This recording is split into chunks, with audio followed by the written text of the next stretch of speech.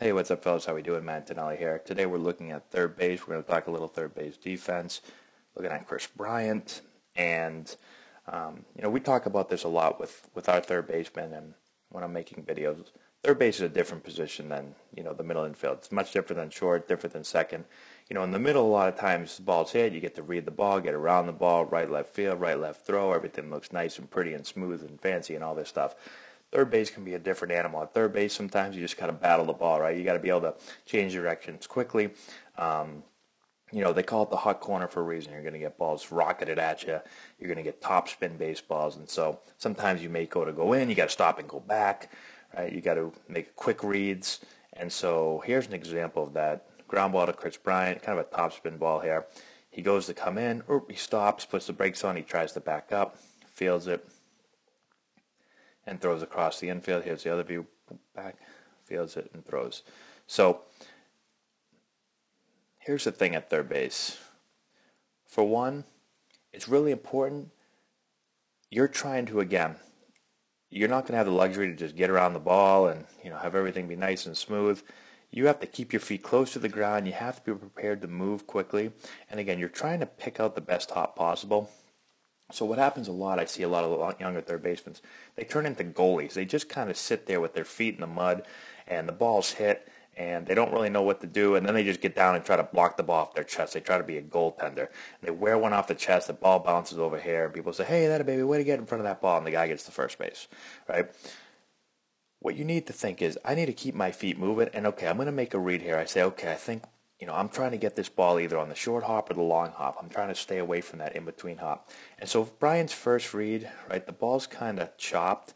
And a lot of times we talk about when the ball's chopped, you want to come and charge that ball and get it, either on the big hop or try to get it on that short hop.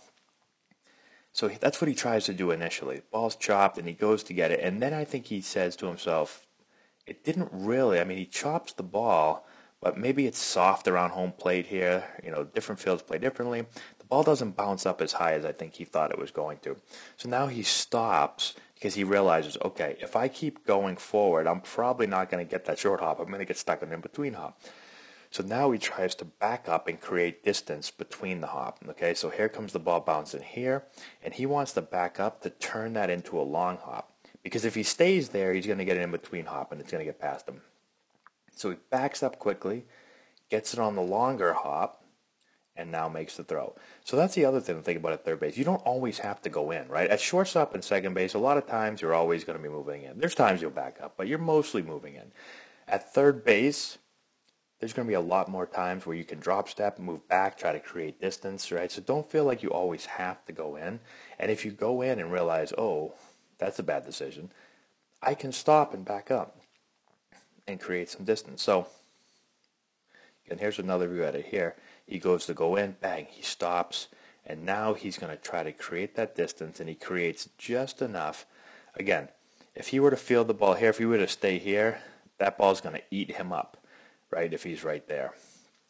That ball's getting into the outfield. Or if he just tries to get down and block it off his chest, yeah, he may block it off his chest, but the chances of keeping it close enough to replay the ball is probably pretty slim. So he's going to back up as quickly as he can, create distance, bang, make the play, turn and throw. So always keep your feet active. Guys that get stuck and their feet don't move, it's tough to play third base that way. You've got to keep your feet active. You've got to continue to try to pick out a good hop quickly. Move in, move back, whatever you have to do. But keep your feet moving. Don't let them get stagnant. So Hopefully this helps you guys out. Let me know if you have any questions in the comment section below. Subscribe to the channel if you've not done so already. Give us a thumbs up. Share the video with all your friends. I'd really appreciate that. Check out our Instagram, Antonelli Baseball, our Twitter feed, Matt9. We're posting videos all the time for you guys. And that's all I got. Thanks again for watching, guys. I appreciate it. And we'll talk to you later.